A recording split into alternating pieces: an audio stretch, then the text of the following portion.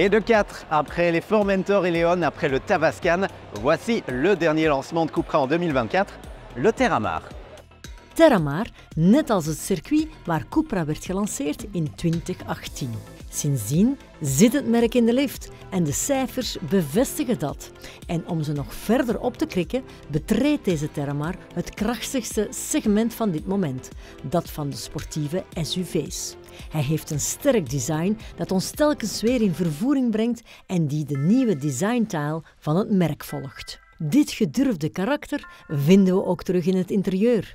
Niet alleen in de kleuren, brons natuurlijk, zoals Cupra verplicht is, mais aussi avec euh, ce grand infodivertissement de 12 pouces neufs ou encore euh, ce système HMI nouvelle génération derrière euh, le cockpit orienté conducteur.